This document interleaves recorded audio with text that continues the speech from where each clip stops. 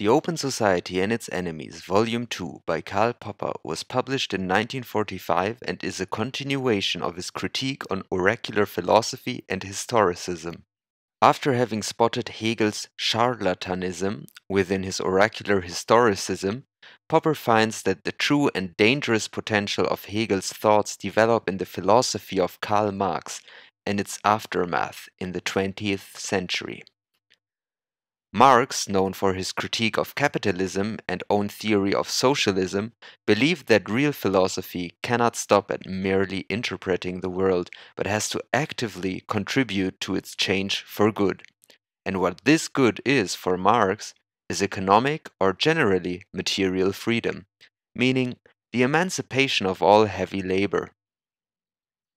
Formal or legal freedom, although Marx does not rate it low, turns out to be quite insufficient for securing to us that freedom which he considered to be the aim of the historical development of mankind. What matters is real, economic, or material freedom. This can be achieved only by an equal emancipation from drudgery.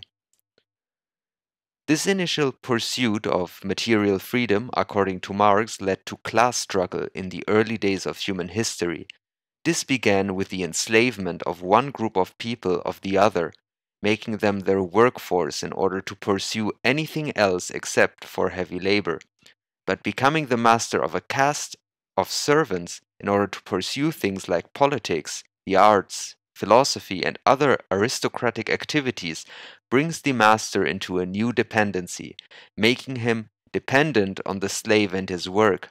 Hence, the master becomes paranoid and pursues ideologically and physically the suppression of the slaves from which the slave or worker has to free himself. The worker has to abolish the class system and create a stateless, egalitarian society in which we all are emancipated in order to pursue activities that are meaningful to us.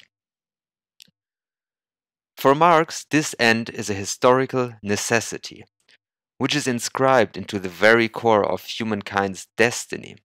So far, so good. Now, for Popper, Marx is not wrong with all of his thoughts, and he appreciates the humanistic mission of emancipation, but he refuses Marx's ideas of historical necessity, historical progress, a destined goal of humanity, and the idea that history itself is a history of class struggle.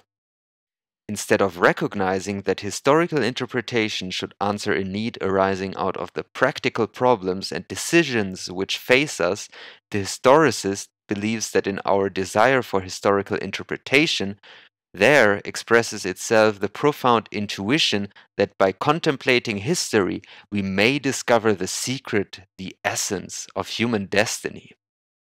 Popper understands Marx's conclusions in light of his personal historical context, in which liberal capitalism caused child labor, inhumane working conditions, and the de facto enslavement of a working class under unfair contracts. Yet, Popper sees in the years that have passed since then a gradual betterment and improvement of living conditions under capitalism through economic and democratic intervention of Western states. What Popper basically rejects is the idea of holism, an utopian master plan for the solution of all problems. What will really work, according to him, is a piecemeal approach to society, changing step by step problems after empirical assessment of the new situation. Such considerations lead us back to our plea for a piecemeal and against utopian or holistic methods of social engineering. And they lead us back to our demand that measures should be planned to fight concrete evils rather than to establish some ideal state. State intervention should be limited to what is really necessary for the protection of freedom. We must intervene, but knowing this to be a necessary evil, we should intervene as little as possible. Thus, we should try rather to achieve a free market by protecting its freedom rather than to control the market by state intervention. In Marx's theory, all strings intermesh Plato's idealism, Aristotle's historical optimism, and Hegel's dialectic and idea of historical progress. Popper believes that even though admitting that Marx did never explicitly argue for a violent revolution and a radical installment of utopian ideals, his work resonated in his readers and believers, leading humans to become enemies of the open liberal society, thus choosing historicist tribalism of a closed society. The book ends with the claim that instead of posing as prophets, we must become the makers of our fate. We must learn to do things as well as we can and to look out for our mistakes.